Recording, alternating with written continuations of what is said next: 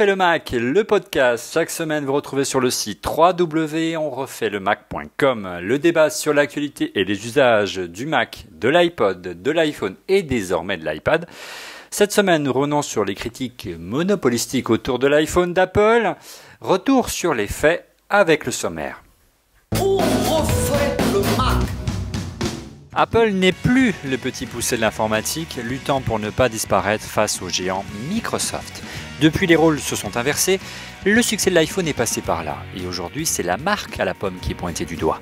Une volonté de tout contrôler qui agace, des attaques répétées contre Google, HTC et Adobe avec une arrogance et une paranoïa qui défrise. Trop c'est trop, il n'en fallait pas plus pour affirmer que la marque était passée du côté obscur. Les autorités américaines enquêteraient désormais sur les pratiques jugées monopolistiques d'Apple. Info ou Intox, on refait le Mac, épisode 20, Apple, le nouveau Microsoft. Avec pour en parler avec nous cette semaine, Cédric Ingrand euh, de la chaîne LCI de la radio, LCI Radio. On vous retrouve chaque semaine sur plein écran et sur la French Connection. Bonjour Cédric. Absolument. Bonjour Olivier. Monsieur X, qu'on retrouve chez lui dans sa cuisine chaque semaine, euh, au visage masqué, un ancien responsable d'Apple. Je ne sais pas ce que vous le montrez à l'écran, monsieur X, ça va bien? Ouais, c'est en rapport avec mon coup de cœur pour tout à l'heure. C'est un couteau. Un couteau aussi gros qu'une machette. Un sabre laser. Ça, on dirait un sabre laser vu d'ici, c'est assez génial. Ici, ça fait sabre laser. Et à ma droite, euh, Emmanuel Torregano du site 3W. Euh, 3W Emmanuel, absolument pas. 3W Bonjour Emmanuel. Bonjour. Alors messieurs, le sujet, euh, le sujet fort du moment, c'est cette histoire d'enquête autour d'Apple euh, qui serait en abus de position dominante. Est-ce que, est d'abord, essayer de comprendre pourquoi Apple fait si peur aujourd'hui euh, Qui veut prendre la parole Qui veut oser expliquer pourquoi Apple fait si peur de nos jours Et qui pourrait justifier comme ça une enquête qui était plutôt réservée il y a quelques années, hein, dans les années 90, souvenez-vous, à un certain Microsoft. D'où notre titre. Apple. Non mais tout, tout, est, tout est logique, Olivier. Ça fait dix ans maintenant euh, depuis en gros qu'Apple reprend un peu de poil de la bête, euh, que euh, on dit il y a des choses qu'Apple fait que Microsoft ne pourrait jamais faire sans s'attirer euh, voilà les, foudres de la FTC, donc des, des, des organismes qui s'occupent de la concurrence aux États-Unis, euh, des lois antitrust, etc., etc. La Commission fédérale du commerce, oui.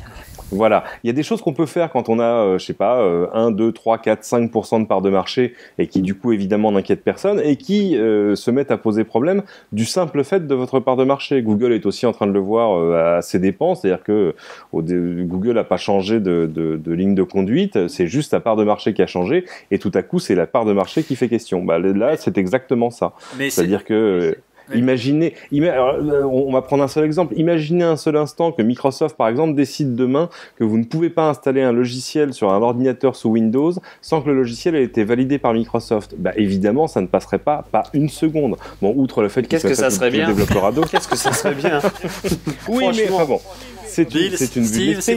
c'est une vue de l'esprit, mais, mais voilà, c'est juste pour vous donner une espèce d'exemple assez criant euh, du fait que euh, voilà, il y a des choses qui marchent quand on a une petite part de marché et qui ne marchent plus et qui, sont évidemment qui, qui peuvent relever de l'anticoncurrence quand on a une, une part de marché euh, dominante. Alors certes, cette émission est enregistrée, il peut se passer plein de choses d'ici la diffusion, mais qu'est-ce qu'on en sait moult choses. Qu'est-ce qu'on en sait aujourd'hui, Emmanuel, sur le sur une éventuelle enquête sur Apple et un, un abus de position dominante? Rien. En gros, euh, c'est une rumeur qui, est sortie, qui expliquait peut-être, en effet, la FTC, qui quand même, aux États-Unis, c'est un peu comme euh, le CSA ou la, Haute Autorité de la Concurrence, hein, vous voyez, c'est à peu près la même chose.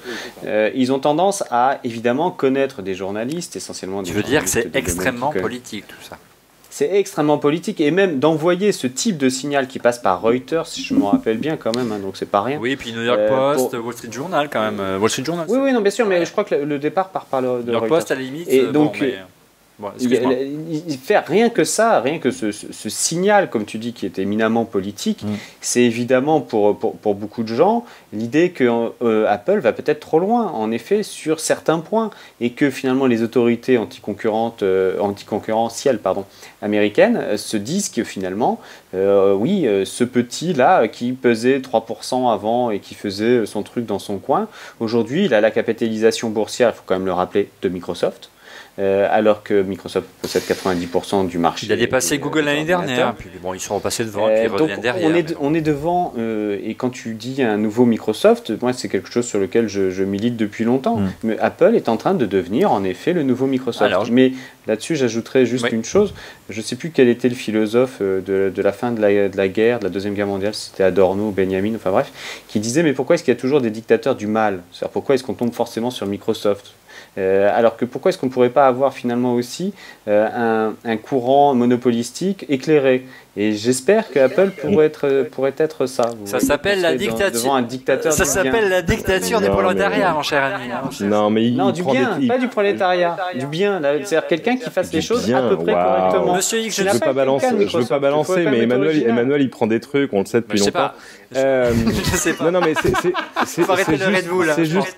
Mais juste, juste, une petite précision. je suis très sérieux dans ce que je dis. Vraiment très sérieux. Je me souviens, Monsieur X, il y a quelques, il y a quelques, il y a quelques temps, et on en parlait souvent, parce qu'on se voyait souvent, il y a quelques temps, du temps où j'étais chez Apple, euh, et que les gens d'Apple pouvaient parler aux journalistes, c'est plus le cas aujourd'hui. Mais pas C'était quand ça oh, Pardon. C'était il y a longtemps.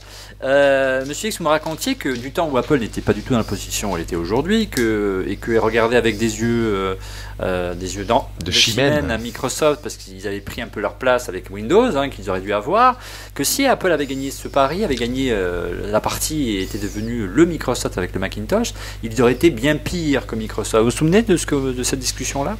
Ouais, ouais, ouais je t'ai raconté ça, mais c'était une blague, euh, une blague qu'on utilise en interne. qui, qui me faisait rire. Qui était, ça, c'est courage. Non, mais ça, ça voulait dire que ouais, non, mais... liberté de parole. Hein. ah ouais, avec la classe. Énorme. Aujourd'hui, la blague, euh, Non, mais je suis une grosse. Vas-y.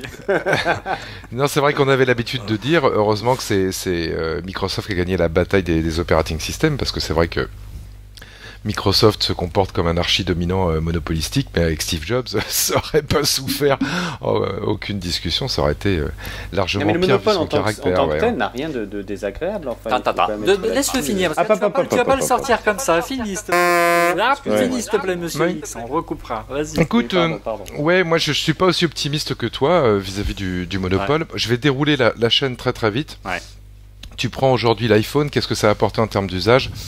Notamment un accès à Internet mobile, euh, on va dire plein écran. On va l'avoir aussi avec l'iPad, hormis les, problèmes de flash. Euh, ce sont des, formats et des, objets qui sont très captifs, donc la pub qui va être faite euh, sur ces interfaces va être achetée très très cher par les annonceurs.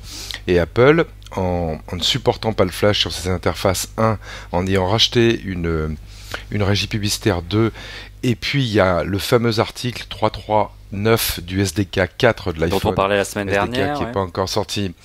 Mais qui dit en gros, en fonction de la manière dont c'est interprété, que euh, hormis le système iAd d'Apple, il n'y aura pas d'autres publicités sur euh, l'iPhone et, euh, et sur l'iPad. Et là, tu as une chaîne monopolistique dure où, du début à la fin, tu achètes le produit D'accord C'est Apple qui te fournit les applications et t'as pas le droit d'en mettre euh, des applications à toi et c'est Apple qui te fait manger la publicité qui va, euh, qui va avec.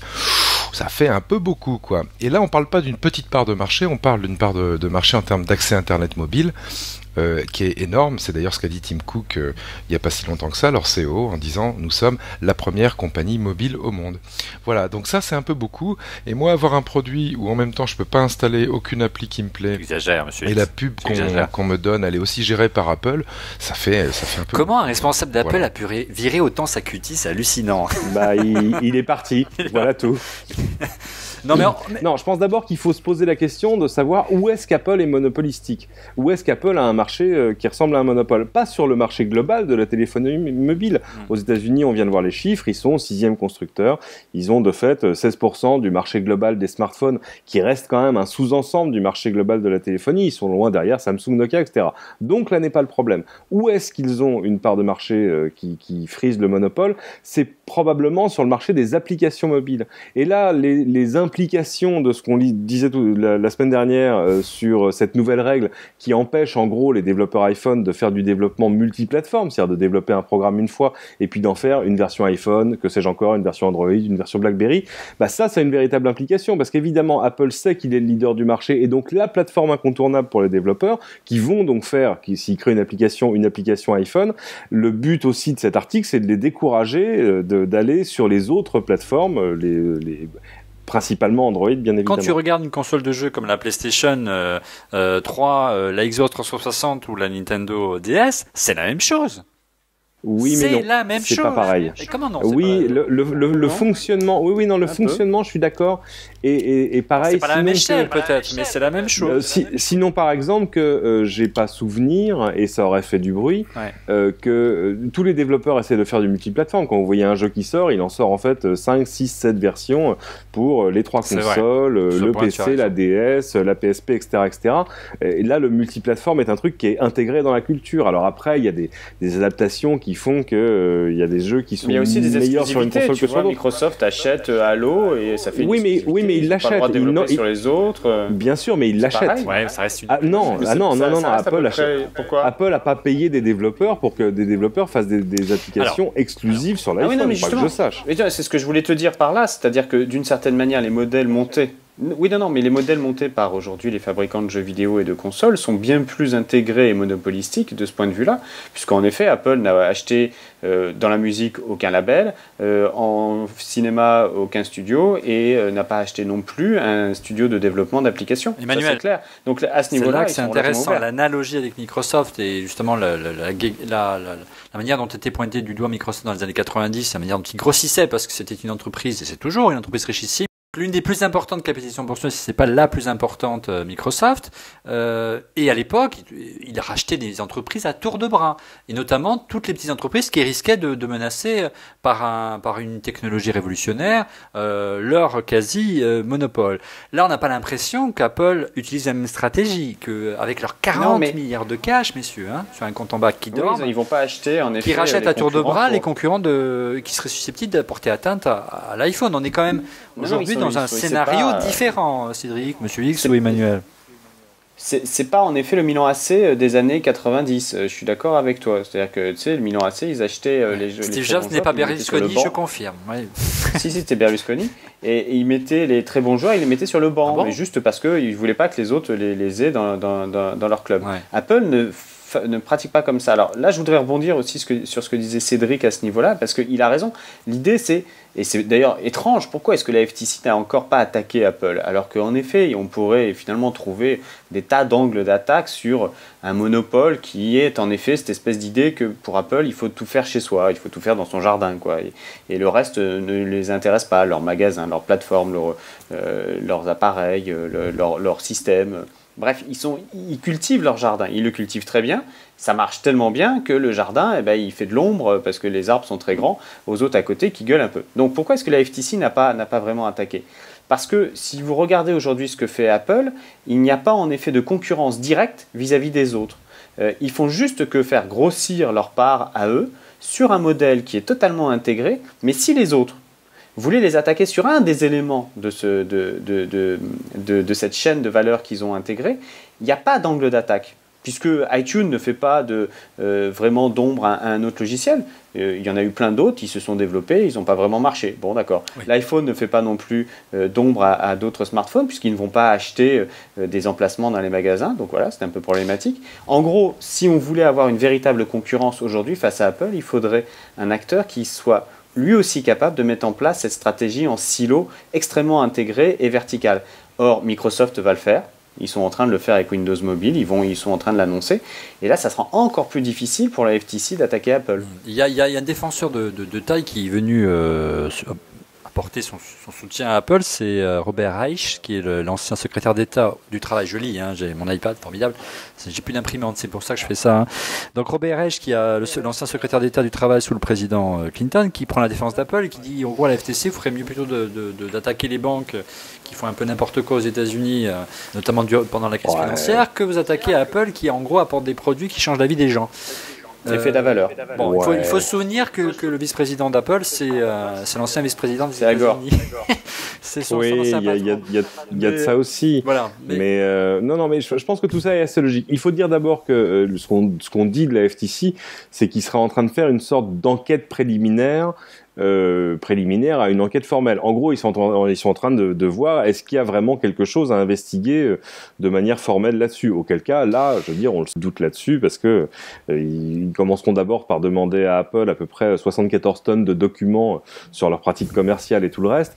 Euh, vous pouvez aller voir les gens de, de Microsoft, d'Intel, etc. Ils vous raconteront que les enquêtes de, de la FCC, c'est pas rigolo rigolo parce qu'en gros, on, ça a duré 10 ans hein, pour Microsoft. Oui, oui ça, ah oui, mais parce que là, là, il y a en plus procès. Là, c'était vraiment des, des, euh, des, procès sur des. des Et puis là, ça a couché une souris, tout ça quand même. Hein, il faut, faut s'en souvenir. Euh, ça leur a coûté ça leur a coûté des milliards et des milliards et des milliards, et ça leur a fait perdre euh, pas mal d'argent, euh, du temps. Ouais, ça mais il n'y a pas eu de démantèlement, euh, comme on a, on a, on a pu l'avoir du temps d'AT&T notamment. Oui, c'est vrai. Mais alors, pendant longtemps, on a pensé que si Apple gagnait des parts de marché sur l'informatique stricto sensu, il pourrait y avoir un démantèlement avec le système et le logiciel d'un côté et le hardware de l'autre, par exemple, et Mm. pour pour Mm. désintégrer un peu le, le, le, côté main dans la main des deux.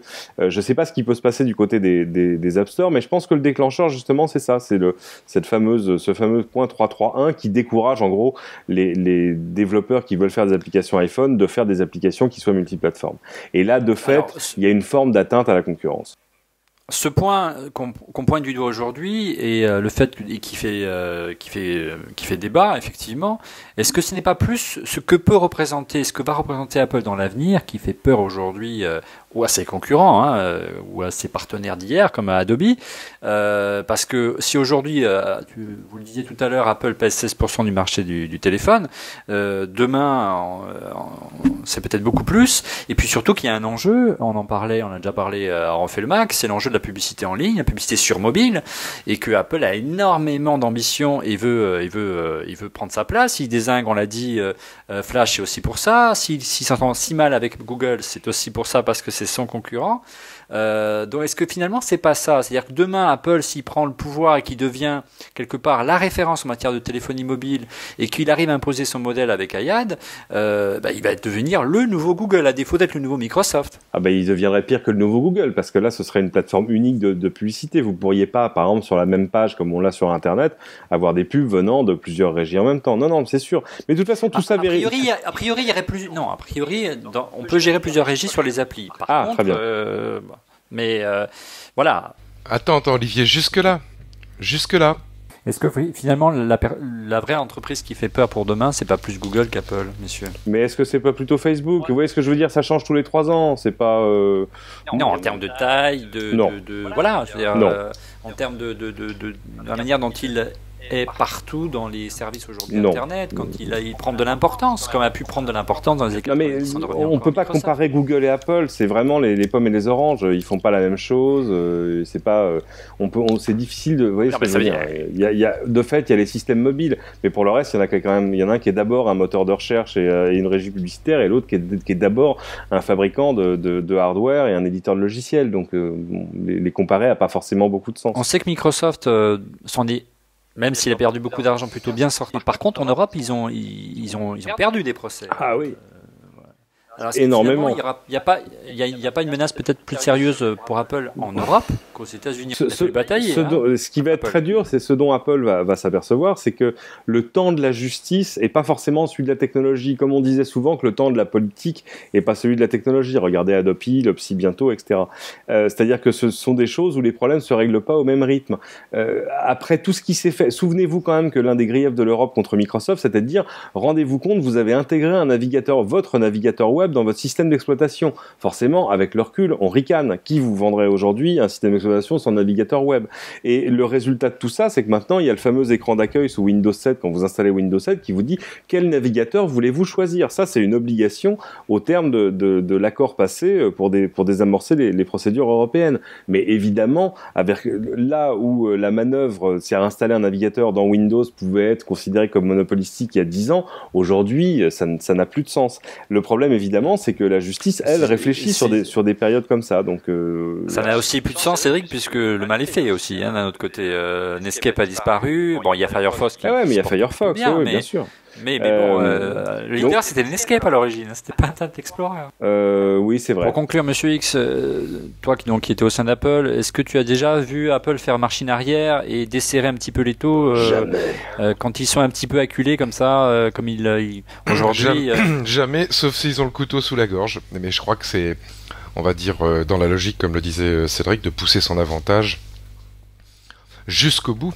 Jusqu'au bout, euh, c'est une logique d'entreprise qui est accessible à la compréhension de tous. Donc ils vont aller jusqu'au bout, jusqu'au bout, jusqu'au bout, en essayant de convaincre d'abord un maximum de gens d'adopter HTML5 le plus vite possible pour pouvoir se débarrasser du, problème euh, euh, Flash, d'autant plus que euh, Flash, ça va être leur un des contre-arguments de vente avec le prix certainement principaux au niveau de, l'iPad. Et puis ils vont aller jusqu'au bout sur cette histoire d'iPad. parce que c'est une, mine de profit pour eux absolument colossale. Hein. Mm. colossale qui s'offre qui s'offre donc ils vont aller jusqu'au bout comme comme ils sont allés jusqu'au bout avec euh, l'iTunes Music Store à l'époque, ça s'appelait pas encore l'iTunes Store, mais ça s'appelait que l'iTunes Music Store. Quand par exemple en France ou en Suède ou dans d'autres pays, ils ont été euh, accusés de vente liée ou, euh, ou de tentative d'abus de position dominante. On a dit à l'époque qu'ils étaient même prêts à retirer l'iTunes Music Store des pays où ils étaient attaqués plutôt que de céder. Ah, je m'en souviens. et je, je, pense que Apple continuera dans cette, dans cette logique, elle leur a réussi. Euh, voilà. boutisme. Euh, Emmanuel, le mot de la je, fin. Je vais vous dire mon avis, enfin mon point de vue là-dessus. Alors ça va évidemment en faire hurler certains, mais je pense que le modèle qui est en train de monter Apple est un modèle de l'avenir et qu'il est tourné vers le consommateur. Aussi étrange que ça puisse paraître. Il est tourné vers le consommateur, vers le grand consommateur, c'est-à-dire tout le monde, le kidam. Et c'est ce qui est en train de se réaliser avec des, euh, appareils dont on supprime les périphériques, dont on supprime euh, finalement euh, tout ce qui était en trop, le trackpad, le clavier, tous ces machins-là, et qu'on va les intégrer dans une espèce de surface unique qui devient aussi simple à utiliser pour un enfant que pour un vieillard que pour jouer moins. Voilà. Là, c'est un progrès, quelque chose qui est en train de se passer et dont on peut dire que l'instigateur, c'est cette société-là, c'est cette boîte. Or, pour le faire, euh, il se trouve que Steve Jobs a une idée, c'est que l'intégration hardware-software ne doit souffrir absolument aucun manque. Bon, voilà, alors il le fait, il le met en place. Soit on le laisse faire, soit en effet il va jusqu'au bout de sa logique, et à, mon, et à ce moment-là il, prend, il fera encore plus d'ombre à tout le monde, et on trouvera bien des raisons comme en effet la Commission européenne dans les, fin des années 90 a trouvé des poux dans la tête de Microsoft. Et le seul qu'ils aient trouvé, et franchement c'était ridicule, parce que c'était juste parce que Microsoft c'était un gros américain et qu'il ne pouvait pas l'empaffer et que la Commission devait absolument se donner une espèce de prestige à l'international. Donc il fallait attaquer Microsoft. ils ont gagné un peu ça. donc ils l'ont attaqué sur ils attaqué sur Explorer et comme l'a très bien dit Cédric, aujourd'hui on, s'en gosse tellement c'est ridicule. Euh, et peut-être que donc il y aura aussi des manœuvres de déstabilisation politique qui se feront vis-à-vis d'Apple et que la première de la FTC, ça représente ces premières manœuvres-là. Mais c'est dommage parce qu'il serait beaucoup plus intéressant, comme on le trouve aujourd'hui avec les opérateurs de télécommunications qui font des, chaînes, des éditions de chaînes et qui les proposent et tout ça. Finalement, ça va dans le sens d'une meilleure, euh, d'un meilleur produit ou d'une meilleure complétude des produits de l'Internet mobile. Voilà. Ce que j'aimerais, c'est que les concurrents, Windows, Google, euh, Sony, Samsung, soient capables de faire la même chose. Or, je vais euh, là-dessus citer Nietzsche, euh, qui avait l'habitude de dire, euh, j'ai un peu côtoyé, qu'il faut absolument protéger les forts des faibles. Et ben c'est exactement ça. Bien, on apprend des choses sur c'est formidable. Mais pour aller dans ton sens aussi, Emmanuel, le problème, c'est qu'Apple, aujourd'hui, il fait l'unanimité contre lui. Il fait l'unanimité contre. Euh, en, enfin, en face de lui, il y a tous les opérateurs mobiles qui euh, sont un peu énervés de voir qu'Apple. Mais tant mieux, tant mieux quand même. Excusez-moi, mais est-ce que ici, quelqu'un a été un jour heureux avec son opérateur mobile, nom d'un chien Est-ce que pendant 10 ans, ils nous ont pas vendu des mauvais téléphones Enfin, il faut être quand même un peu, un peu logique. Reste On s'est débarrassé, on s'est débarrassé de ces gens-là. Il faut continuer. Reste que pour, pour euh, conclure, on disait à l'époque où Microsoft était en procès que ce qui était bon pour Microsoft était bon pour l'Amérique. On verra dans les années qui viennent ce qui est bon pour Apple est bon pour l'Amérique. Merci, messieurs. Pour le consommateur. Pour le consommateur, mais aux États-Unis, c'est peu la même chose. Euh, merci, messieurs, d'avoir participé à cette euh, édition dont refait le Mac. Euh, elle est, elle est terminée. Je vous donne rendez-vous la semaine prochaine pour, un, pour, pour une nouvelle édition. je vous propose également de nous retrouver chaque semaine sur sur euh, LCI Radio pour vous avez un mobile, de même que mon ami Cédric. Mais évidemment. Pour la French Connection. Euh, et puis chaque mois dans le magazine Create que voilà, hop hop hop, il est avec l'iPad euh, qui est en kiosque actuellement. Voilà, merci messieurs encore de votre fidélité, de votre présence chaque semaine à mes côtés. À la semaine prochaine. Au revoir. Au revoir. Salut.